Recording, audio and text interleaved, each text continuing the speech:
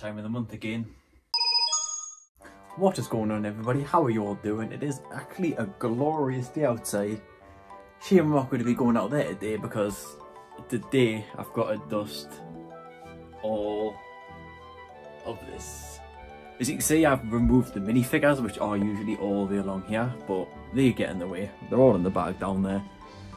It's going to be a long one. There are three tools that I use to dust. A lot of people do this in like different ways. They use water, they use like, they put it in the bath for washing of liquid. I do that when it's incredibly dusty and these things don't work as well but for the most part because I keep on top of it now these three things work a treat. So let's get into it. Tool number one vacuum cleaner slash hoover. You obviously got to plug it in and switch it on. Tool number one has been set up and this funky looking thing is actually the second tool it's a tube that I will connect to the your hoover. It has many different fittings. This has like an extra bit of plastic to it, which I'm not going to be able to take off because I'm too weak.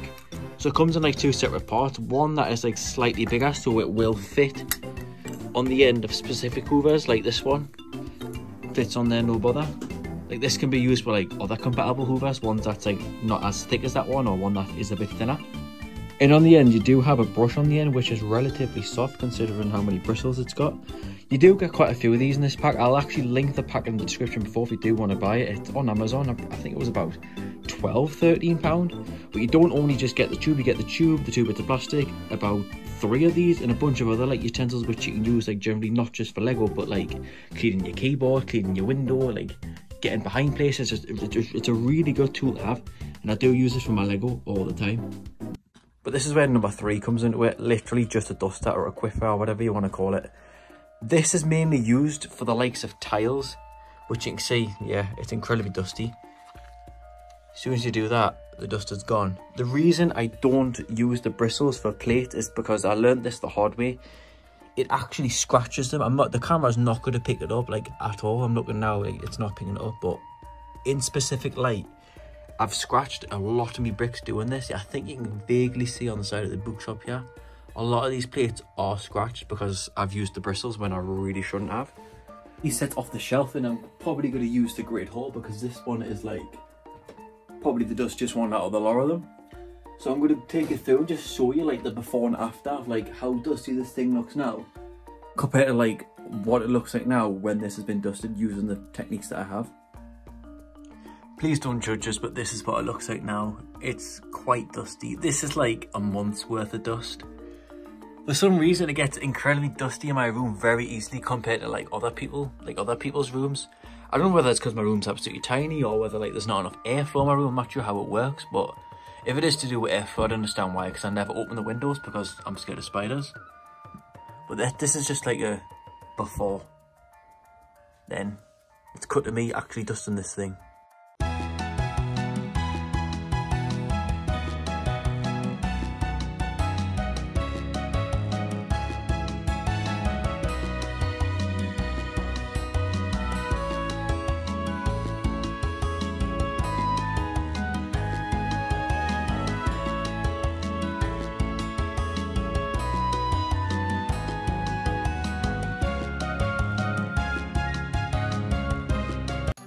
Voila, it's done.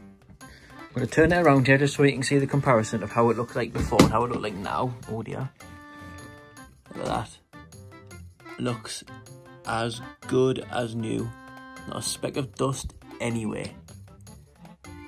I generally feel like this is the most efficient method method possible to dust these things. Like it literally looks like a brand new set now. I like see my reflection in this. I see myself wave at myself. Yeah, it really is a good combination to have. It really is. Obviously, the time is obviously dependent on whether you're dusting like a massive set or like a smaller one. I know for a fact that the Disney Castle, Taj Mahal, and Tower Bridge do take a very long time to dust because they do have a lot of like little grooves and whatnot. And you can see there, this one's pretty dusty, so I'll have to do that one very shortly.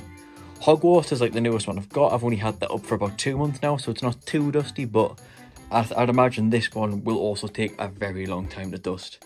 So I hope you enjoyed today's rather short video, but please don't forget to like, comment and subscribe down below if you found any of these tips helpful. I'd love to know if I've helped somebody out today. I'll see you in the next one. Goodbye.